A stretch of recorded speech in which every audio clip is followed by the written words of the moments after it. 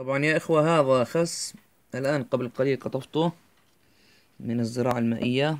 انظروا كيف سبحان الله. طبعا ما أنا غاسله بس سبحان الله انظروا لعروقه يعني سبحان الله كيف. هذه الزراعة المائية تعيد المجد للزراعة الأولانية.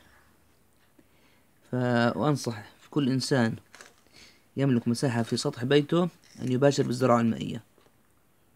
نصيحة لوجه الله غير مكلفة.